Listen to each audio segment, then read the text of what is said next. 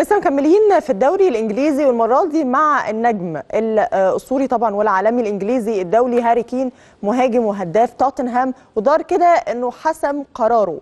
بشأن مستقبله مع السبيرز في الموسم اللي جاي. هاري كين كان قريب من هو يمشي من توتنهام في الصيف اللي فات والانتقال لمانشستر سيتي في صفقة كانت هتبقى واحدة من أقوى صفقات مانشستر سيتي وكتيبة المدرب جوارديولا لكن نادي تمسك بأن هو يفضل.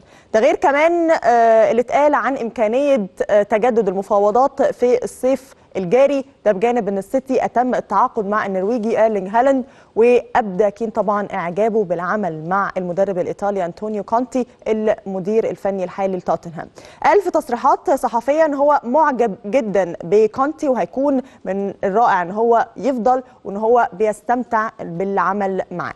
طبعا بعد خسارة الأرسنال امبارح قدم أو قدام نيوكاسل 2-0 بقت فرصة توتنهام في المشاركة في دوري أبطال أوروبا الموسم اللي جاي كبيرة وإن هم بس محتاجين إن هم يفوزوا في ماتش الجولة الأخيرة قدام نوريتش سيتي عشان يضمنوا اللعب في دوري أبطال أوروبا. وده اللي دفع هاري كين لحسم مصيره من الاستمرار مع توتنهام ومدربه أنطونيو كونتي.